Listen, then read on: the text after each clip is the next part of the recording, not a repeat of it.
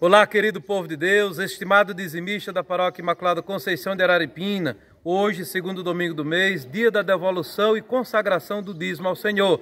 Estamos aqui no pátio de obras da Casa de Acolhimento para Dependentes Químicos com a pastoral do dízimo. Foi uma manhã de espiritualidade, de oração e de partilha. Estávamos também rezando por você e por sua família. Traga o seu dízimo para devolver no altar do Senhor. E se você ainda não é católico dizimista, passe a devolver o dízimo na nossa paróquia. Que Deus abençoe e viva todo católico dizimista!